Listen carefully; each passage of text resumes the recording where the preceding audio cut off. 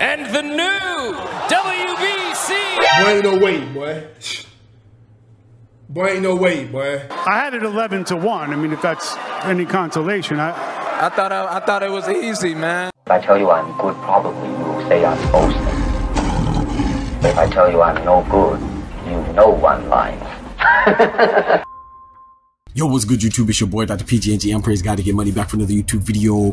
Banger, man. Yes, sir. Yes, man. Y'all know what time it is. The doctor's in the house, man. Check this out, bro. So if you are fans of the Get Back, if you are fans of Revenge, if you are fans of that Act Right, you should be happy right now, man, because we, uh, according to reports, you know, O'Shaquie Foster versus Robson Conceição has been announced, you know what I'm saying, in an unofficial capacity. Like I said, it's just reported. But from right now, what we understand, um, O'Shaquie Foster will be fighting Robson Conceição for the much anticipated rematch um, on November 2nd. You know, those of you that are unfamiliar, maybe you've been living under a rock, but O'Shaquie Foster versus Robson Conceição is probably one of the worst robberies this year since Mikaela Mayer versus Natasha Jonas because they robbed Mikaela Mayer. You know what I'm talking about? Yeah. So uh, O'Shaquie Foster will get a chance to get his revenge and, and set it straight, man, because I don't know how.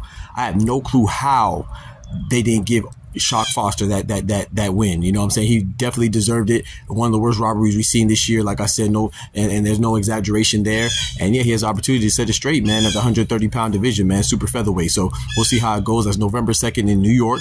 And I, I think Shock is gonna. This is gonna be a great fight because Robson Conceição, you know, like I said, man, fighters fight and judges judge, right? So it was not the fighter's fault. It's not O'Shaquie Foster. Uh, I mean, sorry, it's not Robson Conceição's fault that he was a beneficiary of a bad decision. It's not uh, Natasha Jonas's fault that she was the beneficiary of a bad decision over Mikaela Mayer. So you know, I, I can't blame them. You know, and I think it's gonna be a good fight. You know, I actually thought that O'Shaquie Foster, um, um, pretty much. So say. Say what? Say the word you want to say. I'm not saying that I want to say it. I'm just saying that I can't. Sure you can. Say it. Say it right now.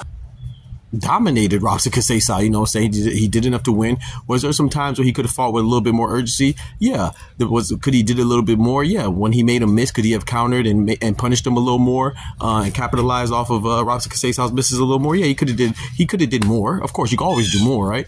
But he did enough. You know, when you do enough, more than enough, then you should get the you should get the win. You know, what I'm saying to get the benefit of the doubt. So O'Shaquie Foster definitely won that fight. He was definitely robbed uh, shot to the young man, and hopefully we'll see him bounce back um this coming November. You know, November second. But with all that being said, I think Robson Conceição, you know, he's a good, capable fighter too, and a formidable fighter. I think he's going to come back with a better game plan as well. I think Shot kind of caught him off guard for whatever reason, and um, I think that he's also gonna gonna put up a good effort. But I think Shock is going to take this one because he's going to come back with a vengeance. You know what I'm saying? And you know, he felt like he's robbed. He felt like he was done an injustice, and he's. I think he's going to come back even more motivated. And don't be surprised if there's a stoppage. You know what I'm saying? But yeah, man, y'all let me know what y'all think about that, man. You excited to see this rematch? I know I am. Uh, yeah, I'm very excited. So we'll, we'll, see. Hopefully, it gets finalized for November second, like they were, like they are reporting. Man, remember, with God, we can do anything. Without God, we're nothing. The doctor's out. Peace.